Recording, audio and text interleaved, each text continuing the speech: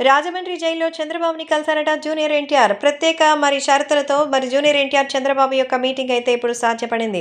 So junior ఎన్టీఆర్ని కొద్దిసేపటి క్రితం అయితే కలిసినట్టుగా అయితే సమాచారం. ఈ నేపథ్యంలో చంద్రబాబు జూనియర్ ఎన్టీఆర్ని చూసి ఎంతో ఎమోషనల్ అయినట్టుగా అయితే తెలుస్తోంది. ఈ నేపథ్యంలో జూనియర్ ఎన్టీఆర్కి సంబంధించిన విషయాలు అయితే ఇప్పుడు ఎంతో వైరల్గా మారుతోంది. అలాగే అభిమానులు కూడా ఈ సంవత్సరంలో మరి ఎన్నో రకాలైనటువంటి జ్ఞాపకాలతో అయితే మనకుంది. సో ఇంకా ఆ విషయాల్లోకి వెళ్తే ఖచ్చితంగా ఇప్పుడు రాజమండ్రి సెంట్రల్ జైల్లో జూనియర్ ఎన్టీఆర్కి చంద్రబాబుని కలిసేందుకు అనుమతి ఇచ్చారట. మరి సిఐడి వాళ్ళకి కేంద్రం నుంచి ప్రత్యేకమైన లెటర్ తీసుకుని వచ్చి వాళ్ళని కల్పించినట్టుగా అయితే తెలుస్తోంది.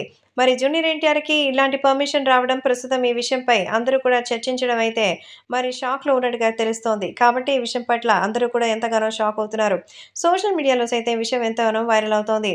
అలాగే అభిమానులు కూడా వీటికి సంబంధించిన విషయం తెలిసి జూనియర్ ఎన్టీఆర్ ఈ రకంగా మరి మంచి పనులు చేయడం నిజంగా సూపర్ అని చంద్రబాబుకి బెయిల్ తీసుకొచ్చేందుకు ఆయన చేస్తున్నటువంటి పని చాలా మంచిది అంటూ చెప్తున్నారు. కాబట్టే ఈ విషయంపై ఇప్పుడు సోషల్ మీడియాలో సైతం ఎంతో వైరల్గా ఉంటారు.